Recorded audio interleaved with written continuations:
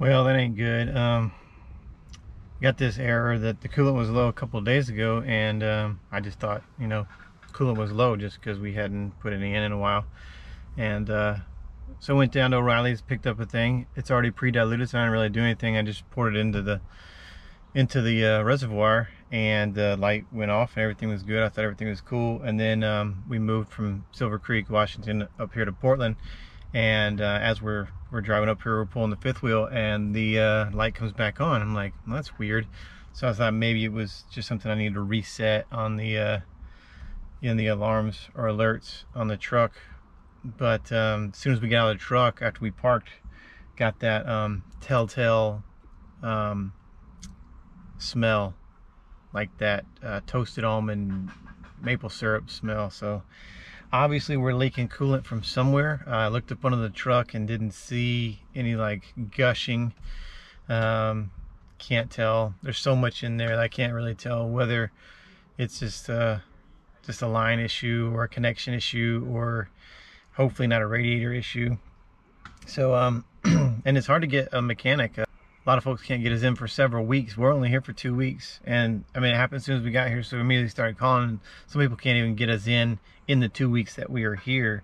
So um, we did call one place over in uh, Gresham or Grisham, Oregon, and recommended to us by a friend. And so we called them and they're going to get us in uh, next Friday.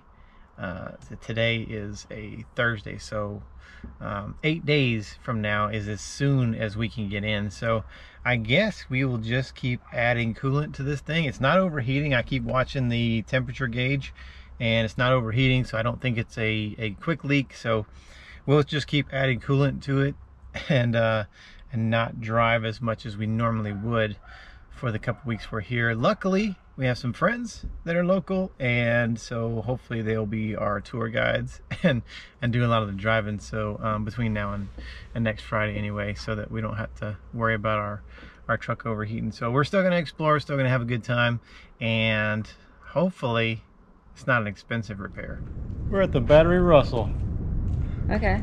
at Fort Stevens Yeah. yeah. Yeah. well, this is where all the big guns were. There was uh, at one time there was big uh, like cannons here, and you can see the circular um, formation of this. That's where the guns would actually rotate. So you'd have the gun barrel. This would be way up high. The gun is sticking way up high, Yeah. and then um, whatever direction you need to point the gun, there's like cranks and the different Pulley um, pull. Yeah, well, it's kind of like um, gears Yeah.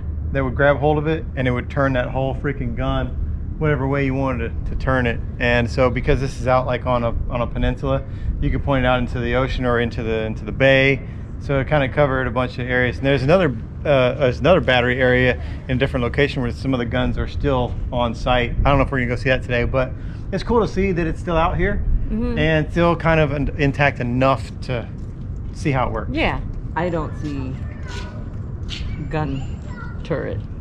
what do you see I see a sacrifice. a sacrifice yes. Like like indiana jones yes.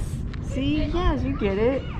Like this wouldn't have been here obviously, but would have been all dark and just chanting and all that stuff. And they got some chick tied up at the stake, ready to sacrifice her. They're gonna tilt the board down, and they're gonna slice her and drain her and all sorts of stuff.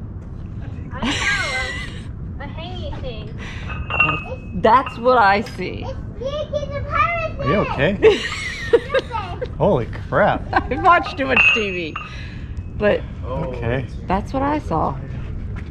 That's dark.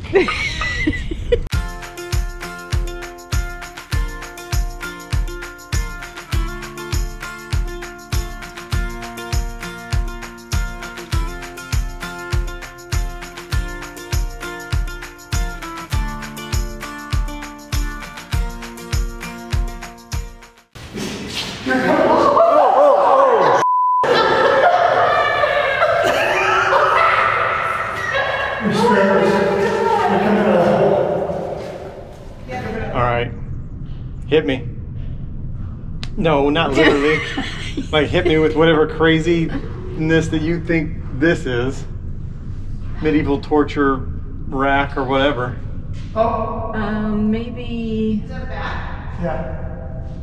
I don't know. It could either be hanging meat.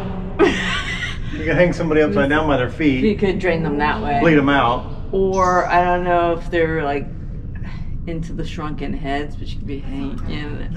Okay, let me tell you what it's actually used for. the the gun is right over here. Down in the basement is where they stored all the ammo, and those rounds are, are super heavy. They had a pulley system here, so they would load the rounds down there. They would pulley them up, pull them out here, put them on a cart, move them over to the guns to be shot out.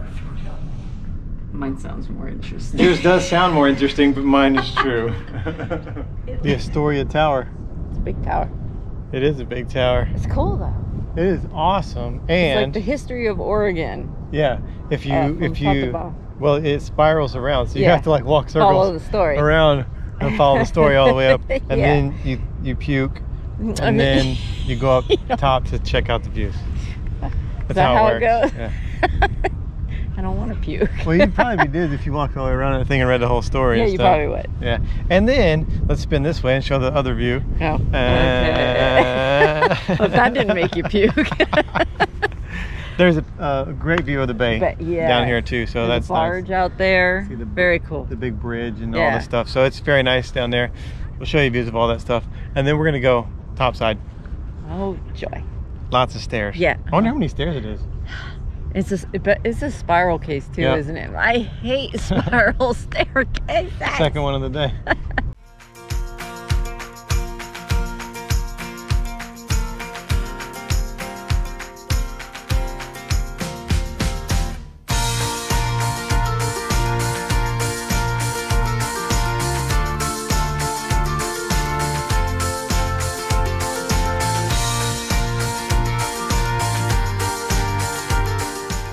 Are you okay? No, I am dizzy. Yeah, I'm a little dizzy too. God, I hate spiral cases. We couldn't vlog from up there. Um, Tight quarters. it was very tight, and it was like everybody's really close to us. Yeah. um, but it's cool views up there. yeah, 164 steps is the answer.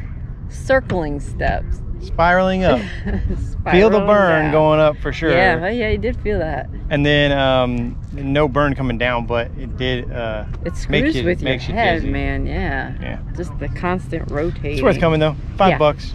You're in. Yeah. Well, today we're out on Trillium Lake, which uh, has one of the best views of, of Mount Hood in the whole state. However, the forest fires have impeded the, the, the view back there, but on a normal day it would be very clear. But uh, we're out here with Jerry and Teresa from Happy Place Diaries and his sister, um, Robin Muggy, yeah, her her husband and their kids, which is pretty cool. They were gracious enough to loan us some kayaks to come out here and hang out today. And uh, so not a super exciting day, but just very relaxing. And we're gonna hang out here on the lake, and um, there will probably be a few shenanigans had, uh, but we're gonna have fun out here. Uh, and uh, the smoke is is pretty bad, but uh, we're gonna enjoy it anyway.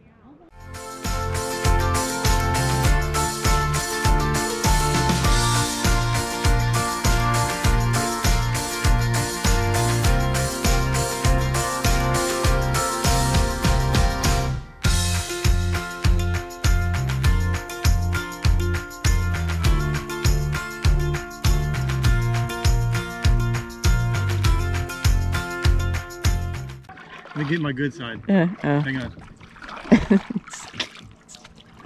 your good side. Uh, oh, well, I see it now. Yeah. There we go. There you go.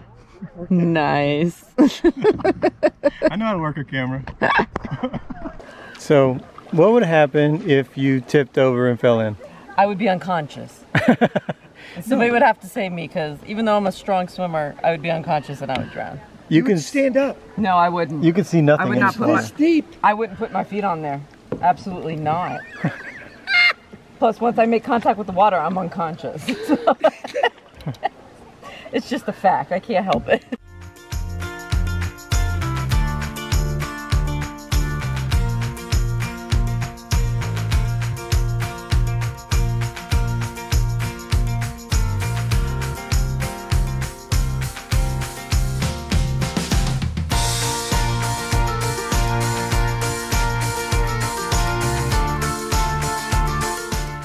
About as far as I go. Leslie's doing dishes. Yeah. And we're getting ready to go out on the lake with some new friends. Yeah. Um, Timothy Lake. Never been to Timothy Lake before, but We've been told by friends it's beautiful. yeah, I've heard it's awesome. So, um, thank you to them for taking us out on their boat. And Yeah. uh, so we got some sandwiches packed up. We're gonna spend the day out on the water, and hopefully the um, the smoke won't be as big of a factor as it has been. Yeah, that'd be nice. Yeah, because we'd like to see some good views today. We're gonna go on the lake. Scout's gonna stay here. Yeah. Scout. You gonna hold down the fort, bud? Uh, okay. That look means yes. All right. Will you have fun today, sir? And we'll be on the water. Good day.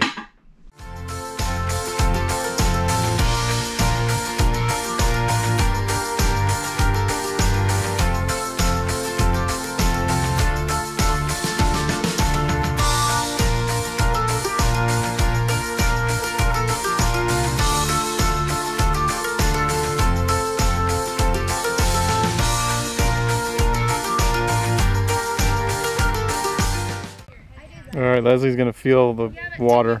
Tell us how cold it is. Sweet Jesus, that's cold. oh my God. Holy cow. So yeah, I get it when you say it's glacier water. Yeah. You it's it's snow melted water. That is freezing. Good lord. But it's clear, it is clear. so you could swim in it. No. Nothing swims in here. Yeah, I know, but no, out there, no. Right here where the rock is, yes. In the blue, no, Why not? because it's not it's not clear enough. I could see a 40 foot tree down Uh, there. well, I see it too, but something could sneak up. There's if, nothing in there. If somebody put something in there, it would sneak up. The water's like 36 degrees. That is so cold. But no, I would not venture out there. I'd stay right here on the rock ledge. Okay. That's that's it.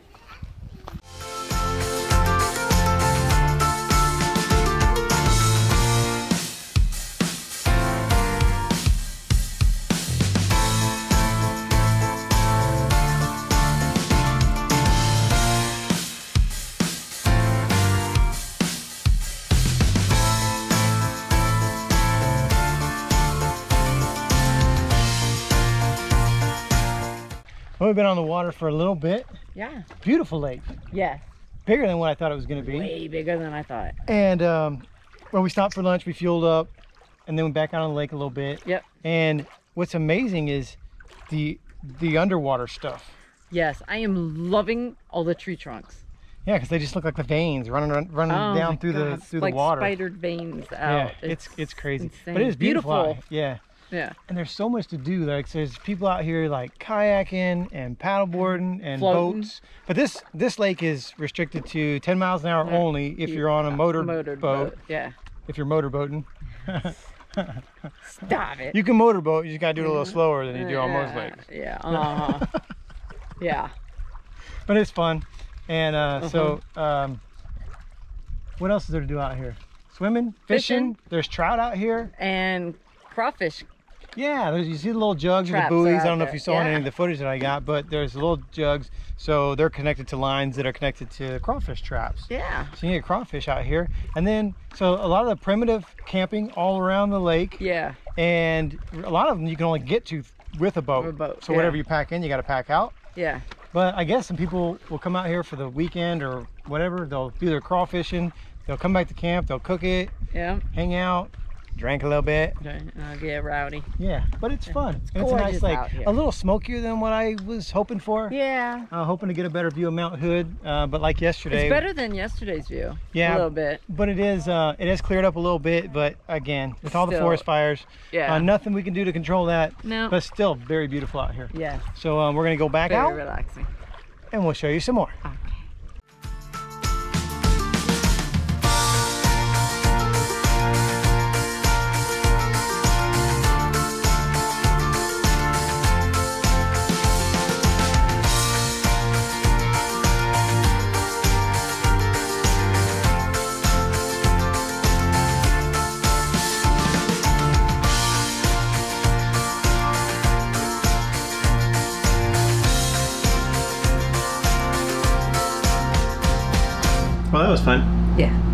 Had a great time, and uh, just to kind of let you know what happened with the truck situation from the beginning of the video, it was a water pump, Yep.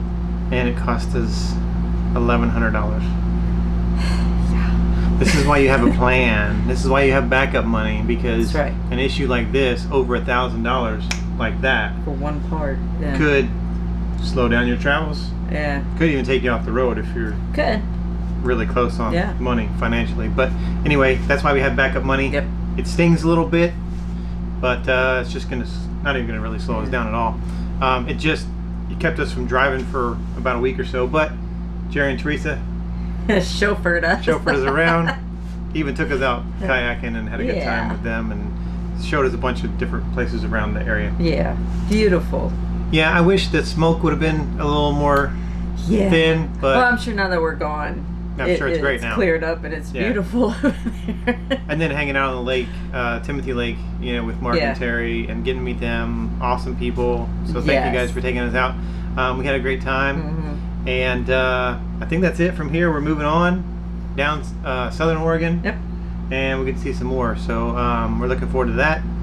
Like we do at the end of all of our videos, we're going to honor a fallen hero. If you want to get involved with helping us help veterans out on the road, everything you need to know is down in the description of the video.